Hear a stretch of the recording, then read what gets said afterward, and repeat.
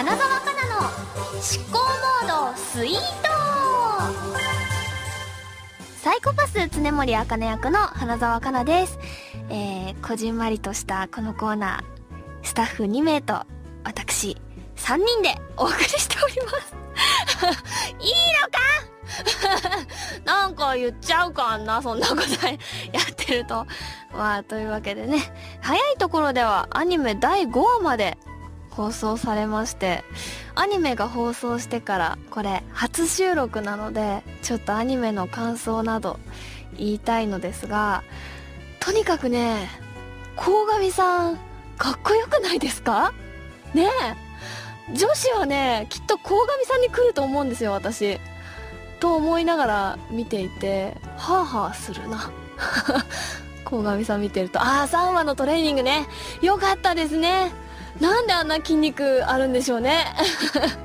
あれにちょっとテンションが上がりましたけれども。最新だと、第4話、第5話ですかね。えー、アバター乗っ取り事件。これはね、なんかサイコパスのアニメならではな事件になってるんじゃないかなと思いますが、アバター可愛いですよね。私あの、あかねのアバターはなんであんなプニプニしてるんだろうと思って。で、木野田さんの選んだアバターがシュールで なんかお金のやつですよね。そう。あれがちょっと絵で見て面白いなと思いましたけれども。はい、皆さん楽しんでいただいてるでしょうかね。ぜひぜひこれからも見てくださいな。というわけで、じゃあメッセージの方紹介していきましょう。えー、このコーナーではリスナー潜在班から届いた小さな罪の懺悔を私が優しく取り締まっていきたいと思います。えー、ラジオネーム、ビップルームさんからいただきました。花沢さん、こんにちは。こんにちは。えー、私は某家電量販店の倉庫でバイトをしているんですが、暇な日が多く、仕事が終わってしまうと何もやることがなくなってしまい、倉庫のデスクに座って居眠りしたり、ゲームをやったりしています。いけないと分かっていても、仕事中の居眠りやゲームは楽しいですね。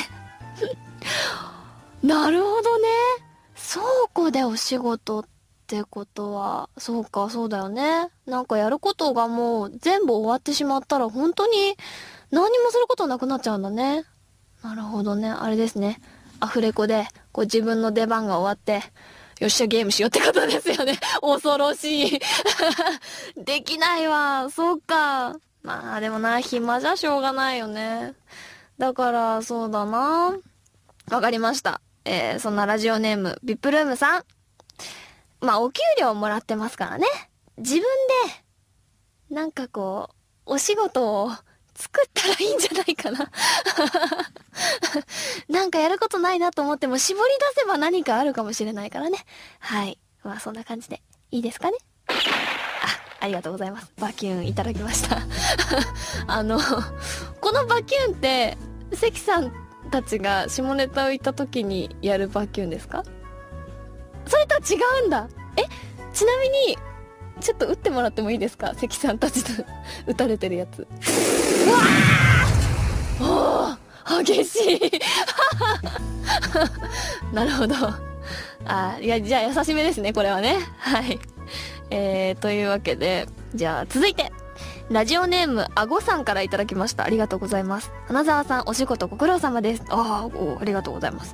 えー、私の懺悔は、バレンタインに家族以外からはチョコがもらえなかったのに、こっそり自分で買ってきて、家族以外からもチョコをもらったふりをして強がったことです。今思うと、その行動の方が虚しく思えます。花沢さん、そんな僕を優しく取り締まってください。優しくしたくなるな こんなことするんですか？男の人は。どうなんでしょうね。あの、前の年にめっちゃもらったのに、今年やばい一個もらえなかったってなったら、ちょっとやってしまうかもしれないけどね。そういうことじゃないのかな？まあでもチョコ欲しいよね。ね？なんだろうね、バレンタインにチョコをあげるっていうのは。なんか男の子そわそわしちゃって、ちょっとかわいそうだよね。まあ、女子は女子でね、なんかチョコレートただあげるだけですからね。うん。そこにラブの要素が入ったらね、とても楽しいことになるんですが、なんか女子同士で渡し合って、太っちゃうねとか言いながら食べて 何なんだろうとか思いますけど。まあ、じゃあわかりました。そんなラジオネーム、あごさん。えー、まあね。そんな嘘ならついてもいいんじゃないかなバキューン はい。うん。なんかいい気がするよ、私はまあね、それをやって自分がすごい悲しくなるんだったらやめた方がいいね。まあ、チョコが好きならね、別に自分で買ってもいいと思いますが。というわけで、えー、引き続きこのコーナーでは皆さんが犯してしまった小さな罪を懺悔するメッセージをお待ちしております。ということで、常森茜役の花澤香菜でした。バイバイ